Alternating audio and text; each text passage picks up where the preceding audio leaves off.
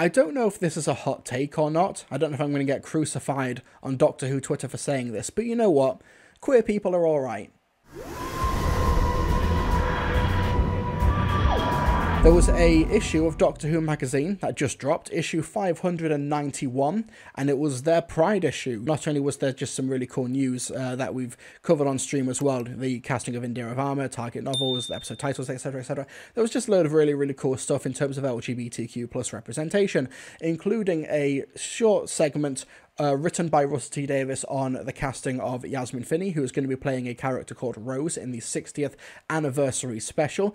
And there was just a bit more, you know, Yasmin Khan, Bill Potts, the, the one gay character from 1973, but they couldn't explicitly say that he was so, because that's just what the times were back then, etc., etc. So, what, what I think is really, really cool about this is firstly it's just putting that stuff front and center especially when i think you know the chibnall era did of course have like thasmin but there was a bit of a i think a reluctance to push it front and center lgbtq plus representation just generally in the media but when it comes to like uh, the upcoming Russ T Davies 2 era. I think because they're not making Doctor Who from BBC Studios, they're now just generally giving way less of a shit. And just how awesome is it as well, just to have Yasmin Finney, a trans actress, be on the cover of Doctor Who magazine. Out in the wild as well, I saw these as well. Uh, Yasmin Finney on the cover of I don't know what that magazine is because Yasmin Finney's afro, her hair, is covering up the. Is it Ellie? Is it L? I don't know. Either way, I saw these out in the wild the other day. So, you know, Yasmin Finney is taking over the world. Her casting is going to change the world. I think that's really, really cool. What I think we need to talk about, though, and I while I this acceptance of LGBTQ LGBTQ plus uh, representation in Doctor Who is something that has been encroaching for you know nearly twenty years now. Captain Jack Harkness, of course, in two thousand and five, and other characters uh, since then. Clara Oswald, Bill Potts as well, etc. I do think that the fandom generally, the Doctor Who fandom, needs to come to a little bit of a uh, I, I don't want to say a reckoning. I just think it needs to have a little bit of a, it needs to brace for impact more or less because while we're kind of in a bit of a quiet period in terms of Doctor Who news and publicity and promotion and stuff, generally speaking, relatively speaking, when we get closer to the 60th anniversary broadcast, when we get maybe a couple of weeks or a month or two away, promotion is going to ramp up. There's going to be more discussion generally about it. And I don't think the fandom is quite ready to defend themselves or defend the show or defend the community generally more broadly if slash when that happens because I remember back in 2017 2018 when Jodie Whittaker was announced as the 13th Doctor, and I don't think the fandom generally was ready just for the amount of vitriol that would be thrown upon the fandom, the show, generally speaking, and its creatives, just from having a woman be the lead character in a TV show for a couple of years. Because, for all intents and purposes, that is what happened when Jodie Whittaker took over Doctor Who. It wasn't a permanent change, it was never going to be a permanent change due to the whole you know the, the actual nature of doctor who itself she was going to regenerate eventually maybe into another woman but eventually it would be another man taking over the role of doctor who it was always by the formula of Doctor Who, going to be a temporary change. But that was significantly too much for conservative media, for conservatism in general, who lost their shit. I saw a screenshot. It was, I think it was in my Discord server. Somebody put um, Bolstrix tweet out the other day. I'm blocked, so I, I can't really show it up on screen because uh, they the, the Doctor Who Twitter account shared that photo of all the cosplayers of Jodie Whittaker in front of the TARDIS from 2018, uh, and he was saying this is when all the degeneracy began. So j- just the idea of a woman being it being the Doctor for a couple of years temporarily is considered to just be outright degeneracy. And of course, all of the rumours and everything that circulated around Chris Chibnall and Jodie Whittaker, I saw right during the Chibnall era, people uh, wondering whether or not Chris Chibnall was secretly Jewish and that's why he was ruining the show. This was from like a, a multi like hundred thousand subscriber YouTube channel who was making these accusations. From people saying that uh, Jodie Whittaker's marriage was a sham, which is why she was trying to push uh, Thasmin into the show. Uh, speculation upon speculation of, of Jodie Whittaker's personal life. Or like I'm not saying that this sort of backlash and these tabloid tropes never happened for previous eras. They obviously did. But I think what was, you know, hostility within a fandom, for example, towards like creatives like Russell T Davies and Steven Moffat and stuff, when Chris Chibnall took over and Jodie Whittaker was the Doctor, that was like it jumped up a notch and it went more public and it went more mainstream. Aiden in the chat, I would argue the kind of backlash started when Pearl Mackie was cast, but became mainstream. I think that was sort of the rumblings of it when Pearl Mackie was cast. Like even looking back to people who are doing like retrospective look backs now of like when did Doctor Who get woke? Uh, the seeds were there in Series Ten, and all they can cite was just it was a a queer black companion. That's literally all they had. That was I, identity politics was just first and foremost in their minds. And what you've got now and I think it's worth mentioning now because it is Pride Month. You've got this massive, huge escalation of anti LGBTQ plus rhetoric, both in the UK but especially in America right now. And of course, with the Disney Plus deal, you're going to be getting more international attention and a lot of international eyeballs on Doctor Who. And I just want to make sure that fandom is kind of ready for that, like bracing themselves for impact. Like, of course, if you are queer, if you are in this community, you already know that things are pretty bad broadly. I'm not here to try and explain something that you clearly already know. But I also just want to draw your attention to the fact that this is happening and you can actually speak against this. When basically, back in January, a lot of people got very, very angry at me for things that they think that I said about Disney and representation and stuff like that. And you know what? Fair enough if you don't like me, that's completely fair enough. But when I go onto these accounts, I see them talking shit about me, about other Who tubers who are ostensibly allies. Imperfect, I understand that, but ostensibly allies on the same quote side. But you go on these accounts, you never, ever, ever see them talking about, for example, GB News platforming a University of Liverpool lecturer saying that uh, LGBTQ plus people and black people as well being in media is a box tick no matter how talented they are. Let's play a clip. It is my bag, but alas, I don't watch Doctor You've got to be either. super quick. Get your bag out um. I, I, I, do think it's a box ticking exercise. The, the, difficulty with it is, is even if these actors are brilliant, which I'm sure they am, they'll always be seen as a box ticking. Uh, they are. They'll always be seen as a box ticking exercise, um, and it's also social engineering with children, and that's the thing that I'm, I'm really concerned about. Social engineering by having a black doctor, a black supporting character in Yasmin Finney as Rose, and a trans actress as Rose as well. Also, you got Talk TV saying that an LGBTQ plus representation in Doctor Who is predatory to children, leaning into that groomer narrative. Same sex. What really grates to me, Kevin, is the fact that it's again taking a basically innocent program and having to hammer home home a point, and and whether it's about same sex or anything else, the BBC, the writers, and you know the right thinking people or so called will be celebrating the fact that this is breaking down another barrier. I would say it's quite sad. This sh- this show was about kids hiding behind the settee uh, from Daleks and Cybermen, cyber people. Um, but now it's it's they're going to be hiding behind the settee because the you know, the doctor's chasing them in a predatory way. I, I just think that you know We've gone over this clip before, this Nigel Pauley and Kevin O'Sullivan clip. This clip actually broke Ofcom regulations because Kevin O'Sullivan did not provide a counter narrative, did not dispute the hate speech that was said. In certain contexts, hate speech is allowable. Like, for example, if you watched It's a Sin, they can say slurs because they are, you know, it was representative of the time they're being attacked. It's all for the cause of drama, for example. But in a news outlet, for example, if somebody says that LGBTQ plus representation in media is predatory to children, pushing the groomer narrative or whatever, Kevin is kind of obligated as a broadcast, um, as a journalist, as a broadcaster, to rebut and respond to that, and he didn't, thus breaking Ofcom regulations. Nothing happened, of course, because Ofcom is run by Tories, but you know what I mean? So while people within the fandom of the community of Doctor Who are getting flack left, right, and centre, I don't see anyone talking about this. These are like broadcast TV, Murdoch funded apparatuses that are trying to push this same narrative. Occasionally, of course, you will get, for example, Um, you will get like YouTubers who try and push this narrative as well on a much smaller scale. Here's a very lovely thumbnail from uh, Rabbi from Another Planet as well, uh, photoshopping David Tennant shirtless wearing uh, a, a bow tie. Uh, it's Pride Month, and every Doctor Who character is now gay.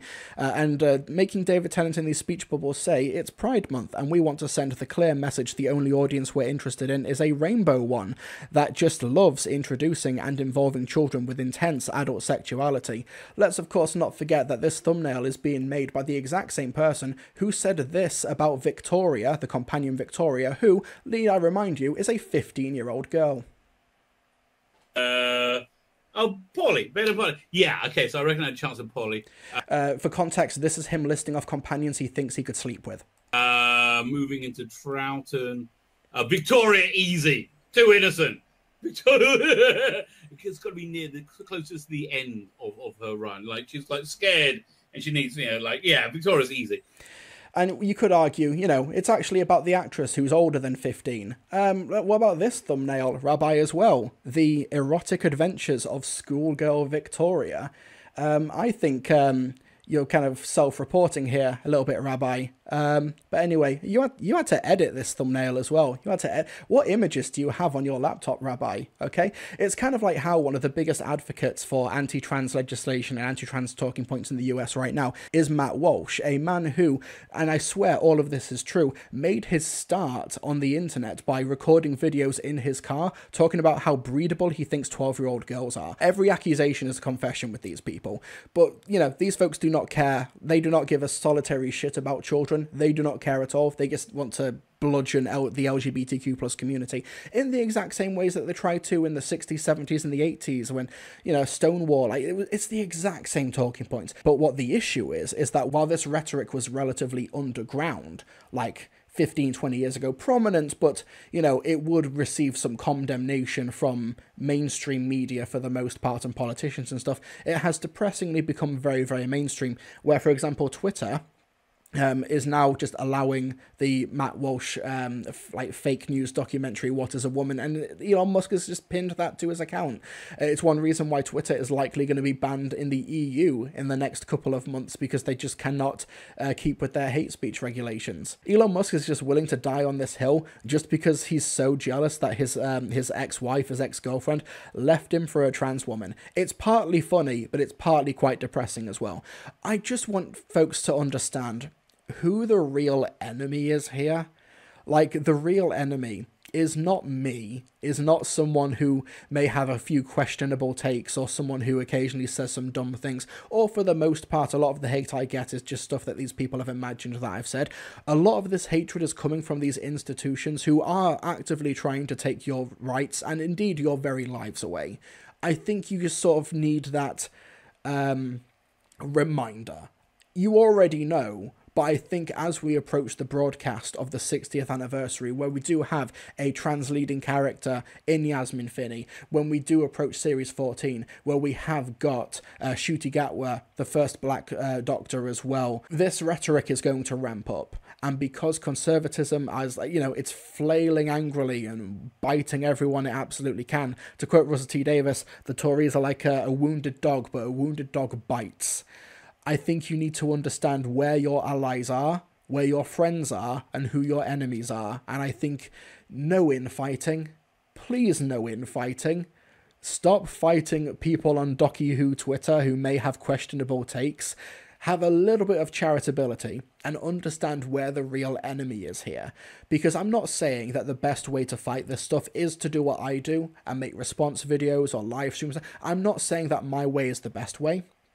But I do think that it's it's a little bit telling that when I look at the community generally, I seem to be the only one who actually talks about this shit.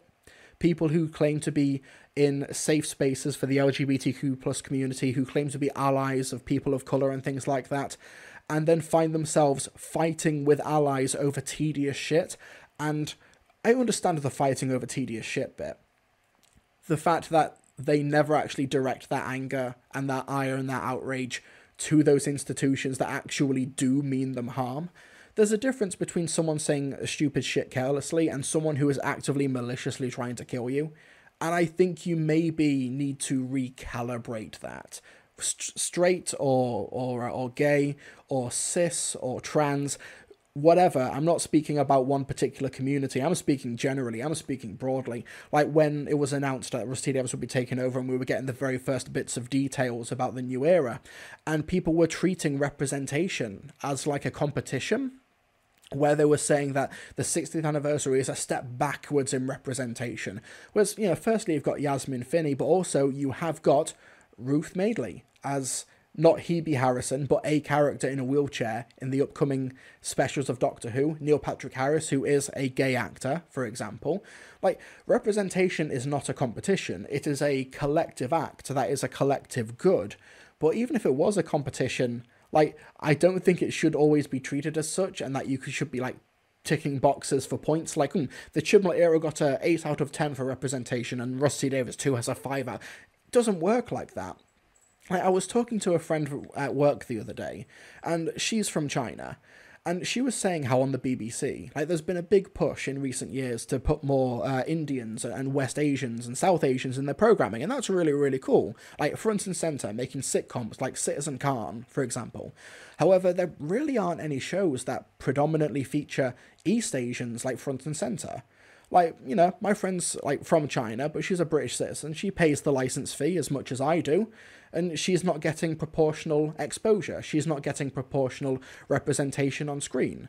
And the BBC has taken so much flack from bigots for being, quote, too diverse and too woke or whatever, but in reality, the BBC could be doing significantly more. Doctor Who could be doing significantly more, but the BBC as an institution generally, many of these media outlets can also be doing significantly more there's what like half a million to like approaching a million people in the UK from China or with Chinese heritage, but you don't remotely see that sort of representation in the BBC, a British broadcaster. It's what I've said before on this channel, just the idea that one trans actor is considered shoving it down your throat too much representation you know, and one disabled actor in Doctor Who Flux was too much representation, was too much pandering and woke stuff for people like Nerdrotic and Heels versus Babyface, the latter of whom has already come out and called Russell T Davies a quote groomer because he's cast Yasmin Finney. Like, you know, these people, firstly, they have no morals, they have no principles. They also don't give a flying shit about children because they've, like, hosted live streams and stuff with Alex Jones, who was found to be recently in possession of child pornography. They do not give a flying shit about children or their safety or generally. You know, we, we, we know all this, okay? At least I hope we know all of this. And I just think that in 2018, as a fandom, we weren't ready, collectively. We did not hold the line we were not prepared for the amount of absolutely unhinged and insane shit that was going to be thrown the way of like Doctor Who and media in general, but of course, this is a Doctor Who channel. I'm going to talk about these things through the lens of Doctor Who. I also, right now, don't think the fandom is ready. I think that they're generally broadly aware of all of the hate against people of colour, uh, the rampant anti Semitism, anti LGBTQ plus uh, rhetoric going around right now in the UK and in America. But I still don't quite think that they're ready for how Doctor Who is going to be perceived, talked about, and by extension, its fans and the people who make it. I don't think that they're quite understanding of the situation. And I'm not saying that they have to understand. This is not me trying to impose limitations or impose morals on people. But when I, like I said, when I do see Doctor Who fans infighting over the stupidest shit, but never, never posting that clip from Talk TV or GB News or those articles in like the Daily Mail, and you know, I think that the priorities aren't in the right place. And I think part of that is like, you know, because I'm just a relatively small creator. I'm, you know, a bit of a bigger name in the Doctor Who fan bubble, but relatively speaking, I'm a bit of a smaller creator. So, you know, they can throw shit at me and I'll actually read it. I might actually even engage with it, God forbid. But you know these big institutions these big names they they are much more difficult targets which is why i think they don't even bother to go for them. But because i did a video on that talk tv segment ofcom actually investigated you know and then for several months afterwards they did not talk about doctor who again at least until quite recently. You know there are ways to be a good advocate be a good ally, be a um, be a good representative of the show without just shitting on your own, if that makes sense. Thank you. Like, it's, I don't, I don't even want to like prop my prop myself up on a pedestal here, but it's like if you if you treat your allies like this, fair enough. But why don't you treat your enemies like this? Why don't you treat them with even remotely the same amount of scorn? I, I, I personally don't get it. I, make it make sense to me. I didn't know that about Alex Jones, but how do I think it was? Yeah, it was found during his recent defamation trial. His lawyers accidentally sent the the prosecution like terabytes of child pornography by accident, allegedly, uh, which Alex Jones possessed. But you know he'll spend years on on um, Infowars talking about that we must protect the children from the from the gays from the, from the stuff that makes the frogs gay, for example. You know maybe they aren't allies. I've kind of thought that as well. Partly, I think a lot of it is tall poppy syndrome, but also like. Uh, I remember back in January with the whole Disney discourse, I said like I think that my community is you know the Mr. TARDIS community is a pretty safe space for LGBTQ plus Doctor Who fans, and a few people like laughed at me for that. But then I thought back to some of the shit I've seen on like Stan Twitter, and like I, I know like of a um there was like a, a trans teenage uh, trans teenager who was like part of the community for a while and was like pretty well like regarded. I forget their name off the top of my head. But then, like, they said that they weren't a big fan of how Thasmin was done in Legend of the Sea Devils and Eve of the Daleks, and then, like, because of that, she was considered an easy target, and then she was docked, like, she uh, like she was outed to her parents because they found their Facebook page, and then, like, because she wasn't out to her parents, and then they outed her to her parents because they disagreed on Thasmin. Like, what the fuck? Like, this is not a safe. Like, I've never done that. There was also what was it that um this was a while ago. A, lot of what happens on like Stan Twitter as well, a lot of it is driven by misandry, and I get it. Dudes are generally a bit shit. I get it. It's coming from one.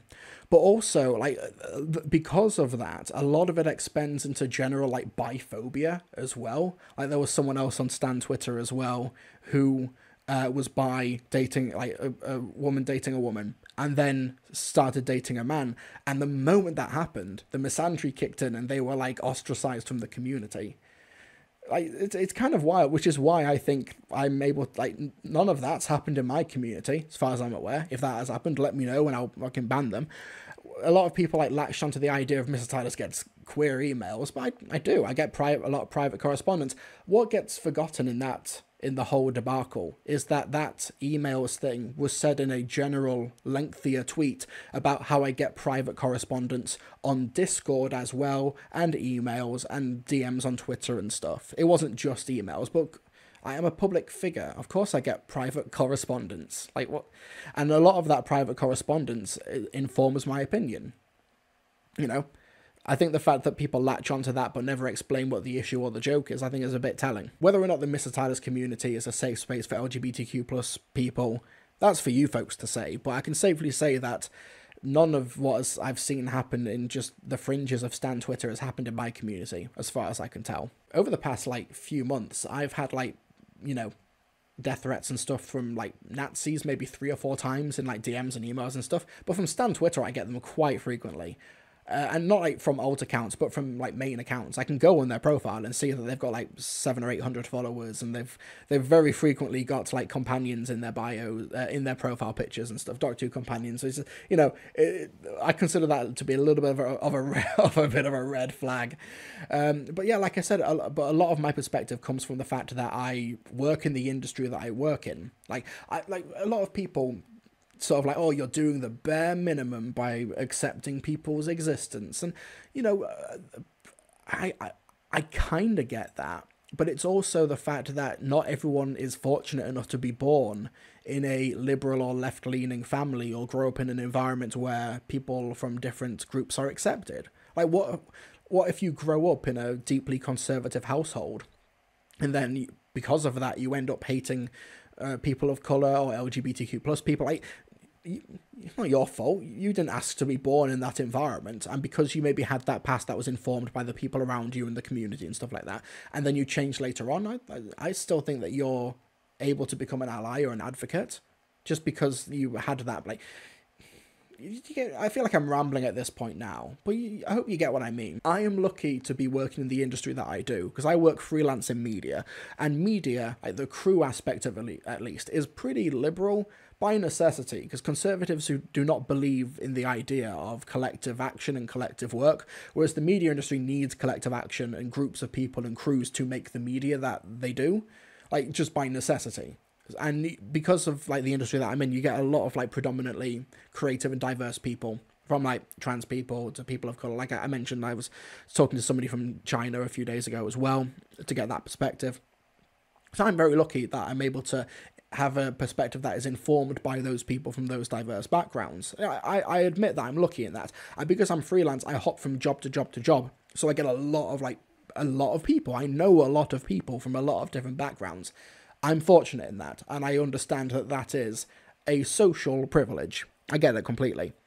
And I think what seems to happen a lot in uh, fan circles or geek circles is that they do end up in their own little bubbles, I think, as well, where they think everybody kind of agrees with them. And algorithms as well push them in this direction. Like I said, these are systems that are coercive socially. I, I yeah, I get that.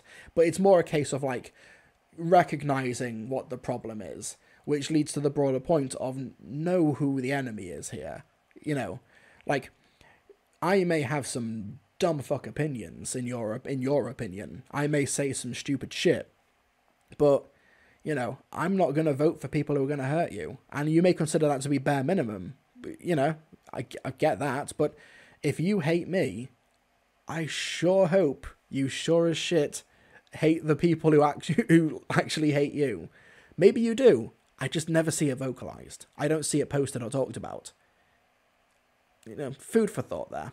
Have you seen the whole Miles Morales and Spider-Man thing for the right? Yeah, I've, I've seen that, and uh, from what I can tell as well, the um, Into the Spider Verse. Um, well, no, across the across the Spider Verse. That's the name of the latest one, right? Um, that that's actually about that, which is very very fun. The directors have confirmed that it is about like people like Nerdrotic who like do not accept Miles Morales as Spider Man. Vortex Alliance, can we just go back to enjoying watching our favourite show? Here's the thing that we never picked this fight. As fans, we never picked this fight. Conservatives did. I would genuinely love nothing more than to just watch the stupid and fun Blue Box show. But because of conservative power structures, we're just watching the fun Blue Box show, but they're like, there was a trans person in it. This show's coming for our kids or there was a black person in it. There's clearly some social engineering going on here, and then they use their platforms and their positions of influence to make that the conversation. Like fans and progressives, for the most part, we just want to watch the show. We just want to enjoy it. We didn't start this fight. We didn't pick it. Conservatives did. And they're angry that they lose all the time. Like, I, I genuinely can't think of a single social issue over the history of modern civilization that they've ever been on the right side of. So, you know, they take a lot of L's. But because of social media, they're taking a lot more L's publicly. So I think they're thrashing and they're angry a lot more than uh, a, a lot more than they used to. Like for example, we, here's the thing: like you, obviously, I have political opinions, I have political thoughts and things like that. But watch my review of Planet of Giants, of the William Hartnell story. We talk about the production values, the history of the episode, the performances, the fun villains. There's a little Simpsons skit in there that I'm really proud of and happy with, and everything. And we do spend a few minutes talking about the inspiration of the story, Silent Springs, the book, and the pesticides that were being deregulated in the in the in the 50s and the 60s. We, you know that that's part of the conversation. You get all of that in the review. You go to a Nerdrotic review or a Bolstrek review, or you see an episode of Doctor Who covered by GB News Talk TV, it's all identity politics. There's no or very little actual analysis to be found. It's all about the politics with them. So when they say you're making the media political, you're forcing politics into it, no, it's them. The art itself is already political. It's already like embedded into the work by nature of it being art made in a society but the obsession with it and the fact that yeah talk about it if you want to but the fact that they do a review and that's all they talk about is so telling to me. And the fact that they use it as a Trojan horse. Like, you know, Jeremy Clarkson writing that article in The Sun years ago saying, oh, Doctor Who's apparently doing bad in the ratings. I don't know, I've not watched it. By the way, here's a whole screed about how women should not work at the BBC. Or here's a whole screed about the, the anti Holocaust denial film uh, Denial. Uh, I'm going to write a few paragraphs just actively misrepresenting the film. So I'm not, not, not Holocaust denial. Like, like, so you put Doctor Who in the headline. You made this a story in the Sun about Doctor Who, but it's not about Doctor Who. You've just used that to espouse some pretty reprehensible beliefs and thoughts. Like you've made this political. Like it's so obvious. There was even that uh, Conservative Party leaflet in Wellingborough back in 2019 where they cited Doctor Who by name as like the downfall of Western civilization and like a woke show that needs to be taken down. Like you know, we just want to watch the fun sci-fi show, folks. But since you are so determined to pick this fight, I, I guess we kind of have to have it. But if you're going to have that fight, don't you at least want to support the allies, support the advocates, or at the very least, don't infight all the time? Like, a lot of. I very, very rarely start shit on Twitter. Like, I'll like, of course, punch down to conservatives and reactionaries and stuff. But in terms of like fan opinion, I'll sometimes like weigh in, but like, yeah, this is an interesting discussion. This is my thought. I, I very rarely antagonize on Twitter. Very, very rarely, unless like I'm called out first. It's I very rarely start shit. Very rarely. Yes, Alex Rooney Composer's right. Women in TV causing men to do crime. See Doctor Who. Yeah, you had an actual Conservative MP saying like on International Men's Day that the casting of Jodie Whittaker in Doctor Who and like Rey in Star Wars and female Ghostbusters not only causes crime in the UK amongst men, but specifically stabbings. Like I hardly saw anyone on Doctor Who Twitter talk about that. I saw like general mainstream punditry, like laugh at it and poke fun at it, yeah, but I think it was only me and a couple of other people talking about it. And like I said, you don't have to talk about it. But then when you see those same people like go after their own, like go after other fans for pro- in the name of progressivism, makes it weird. I think it's a little weird. Yeah, Tory MP Nick Fletcher, who I believe only won his his election in his constituency by a pretty narrow margin. He's probably not going to be lasting his next uh, through the next election. Fingers crossed. Is it awesome that you've got Yasmin Finney, a trans actress, on the cover of Doctor Who magazine? Hundred percent. Is it great that Yasmin Finney has got some, uh, has got a massive audience on Instagram and social media, has had a great breakout role in Heart in Heartstopper on Netflix, is on many other magazine covers, awesome stuff, and I think that says a lot about how society generally, broadly, has become more accepting over the past twenty or so years.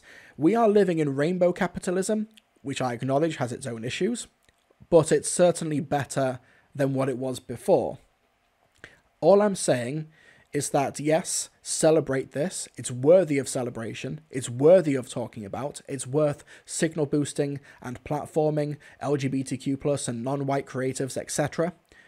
But just know that don't rest on these laurels, okay?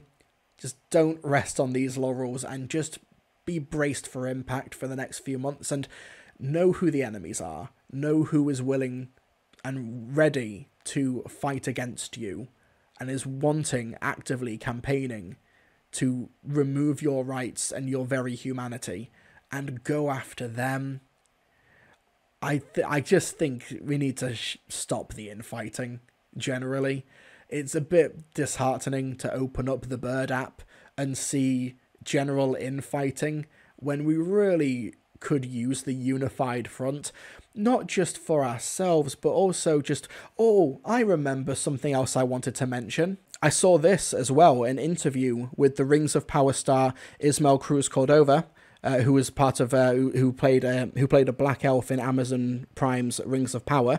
Uh, he did an interview with Variety saying that it wasn't just attacks on social media. My phone got hacked. I had bank account attempts of being hacked. My PayPal got hacked. My friends got messages. I got death threats. I got things mailed to me. People found out my address.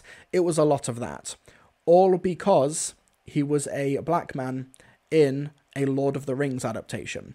We also know that Ncuti Gatwa for himself and his family has had to hire 24 7 security because of conservative backlash to him being Doctor Who. I think we need to understand who the real enemies are. And I think we need to understand that it's not just fandom and the community that is impacted by these things, it's the people who make the media in general. I'm sure that Yasmin Finney, being in Doctor Who, has been on the receiving end of a hell of a lot of harassment, intimidation. We also know Charlie Craggs, who um, played Cleo in Doctor Who Redacted, is a trans actress. Uh, she got spat on in the street. Uh, went to court for it, uh, and she was the one who was actually penalised for it because she filmed the person who spat on her uh, even though that was an obvious hate crime. And according to uh, Charlie Craggs' Instagram stories, she is not going to be playing Cleo in Doctor Who, the TV show, because of her political opinions, aka her advocacy for trans rights. So we have a lot of ways to go, of course, obviously, and it would really, really, really, really help if fans didn't try to hold the cause back and actually started allying with each other and fighting the real enemy here. Nicole Maines is a trans actress who got a ton of hate when she guest starred in an episode of The Flash. Yeah, and uh, Kelly Marie Tran in Star Wars as well for being a non-white person in Star Wars was hounded off of social media. Like this thing is depressingly become normalized. I don't think we'll ever stop infighting as part of a community fandom I've ever seen. I don't think people acknowledge the only safe spaces are the ones we make and maintain. I, I understand like infighting when it comes to the show itself, and I like this episode, I like this, but when it comes to the sake of progressivism and progressive values, even though we're ostensibly on the same side, and like I, I, I just because you're an ally doesn't mean you're perfect. Obviously, I think there's some educating that many people can do and can be exposed to, and all that good stuff, of course, but.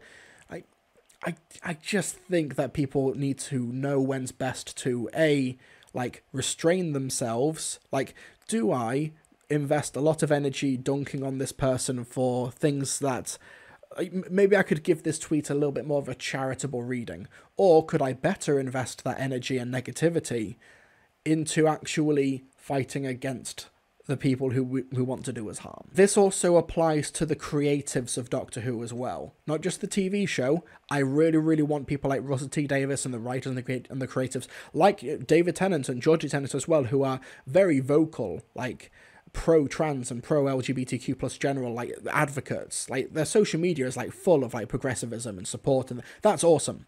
But also companies like Big Finish as well who maybe they're not going to anymore, but like writers like Trevor Baxendale have like endorsed a hell of a lot of like transphobic and anti-LGBTQ plus stuff on their Twitter before. Like their likes are like a cesspool of like anti-trans stuff as well, but they are currently um, like tomorrow there's going to be a Trevor Baxendale penned War Master story. There's there's a Trevor Baxendale's also got a Tenth Doctor story that's going to be coming out in a few months' time. And even on the last live stream, there were like two trans actors in the two box sets, in Torchwood Among Us and in The Ninth Doctor Adventures Pioneers. There are trans creatives and trans writers. There's a trans companion of the Eighth Doctor. You know, there's Theo, who writes for, who's, who's a non binary writer, who writes for the Gallifrey War Room set as well. Like, how, how, how I don't want to speak on their behalf or anything, but like how do they feel? I'm genuinely asking like how do they feel about big finish continually employing a writer who not only considers them to be subhuman but also to be like a danger to people because that's the type of stuff that Trevor Baxendale like supports and retweets and likes on his Twitter and stuff. So like maybe people like maybe magazines like Doctor Who magazine a couple of issues ago should not platform or talk to Trevor Baxendale and then do a Pride Month issue in June. You know, maybe Big Fin- maybe Big Finish have have severed ties with Trevor Baxendale. I don't know. They've not released a public statement, but it would be nice if they released a statement to clarify the situation. Because the fact that they haven't released a statement on Trevor Baxendale indicates that maybe he'll come back.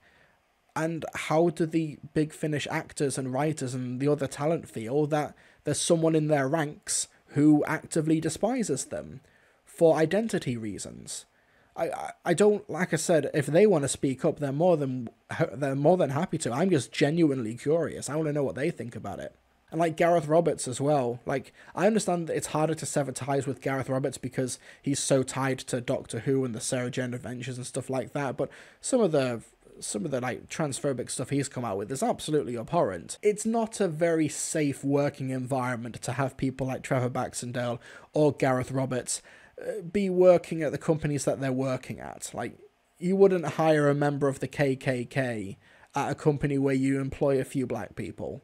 Is all I'm saying. Hasn't he been dropped? There's been no, as far as I'm aware, official announcement or official statement regarding it. If he's been dropped, it's been done quietly. So, we, you know, it would be nice if Big Finish, you know, stood up publicly for their diverse creatives. Like, I'm not, like, they should do it anyway, but the fact that in the last live stream, there were like two trans actors in the two box sets that I reviewed, and there's like trans writers and stuff and, and trans companions that are part of like the Big Finish universe, it would be nice to know that the company publicly has their back. Do you think if those types, Roberts, Baxendale, educated themselves and actually changed, they'll be rehabilitated back into the fandom? Yeah, I, I, I'm one of the very few leftists who believes in the idea of rehabilitation. You know, like 10, 15 years ago, I was transphobic because I grew, even though, you know, I grew up with a, like, a pretty diverse group of people, I'd never met or spoken to or seen a trans person until, like, I was out of university, I think. My only representation on screen for trans people was South Park and Little Britain. Like, that was kind of the extent of, like, gender non-conformity representation that I watched. It was a different time, and of course, maybe if I'd been shown the right things at an earlier age, maybe it would turn out differently. Like, I'm all for the idea of, um, of rehabilitation, like, in, in practice. People are a product of the environments that they grow up in and because we are on TERF Island, there's going to be a lot of that stuff that's that, that's conditioned into people. Little Britain should have made Little Britain should have made you empathetic to Welsh gay people. Should have done, but uh, the, the war between the the English and the Welsh, you know, those those trenches run deep. I also I'm very very very much expecting segments or maybe even the entirety of of that segment to be lambasted by corners of the community and stuff. And I'm open to the criticism. I always am. Um, but I also think that if you invest a huge amount of energy and anger towards me and what I've said and the, the community that I've built and things like that, you know, I'm I'm open to the criticism. But I also am curious as to whether or not that person would hold the same ire to Talk TV or GB News, and if they do so as publicly both my parents have gone to anti-vax Facebook. It's genuinely painful. Yeah, I've got some like family in like Canada and in Florida, and I've just seeing what they've been posting and sharing on Instagram, like um, stupid Joe Rogan stuff and um, uh, uh, Jordan Peterson stuff. It's like, oh no, this person hates you and probably wants you dead. Don't share that. I saw somebody, and I shit you not, one of my friends who was like, uh, like non-binary transmasc. Um, shared a pos- shared an article positively saying that in Florida they're going to do the death penalty for um, people who've committed sexual offences against children. Um, and they were like, "Yeah, about time. Yeah, this is a good thing." And I was like, "Oh no, you, no, you, you, you, you, uh, you sweet non-binary child. No, uh, that's that's targeted at you like you've not read between the lines and you don't understand the context that they're trying to make LGBTQ plus people in general in Florida be uh, convicted of child sex crimes. That's they want the death penalty for you. You've not. And it was like I I actually asked a few friends. I was like, do I bite my tongue or do I tell them? Like I I don't know. Like, those are awkward situations, and I don't have the answers to those ones. But oh, Bad news for Matt Gaetz, True. Bad news for for quite a few people who we've talked about on this live stream so far. You should include this part about knowing that folks will clip out of context in your segment. Um, no, they'll then they'll just clip that bit out. anyway, right, rant over. I'm gonna get a lot of emails from the gays for that segment.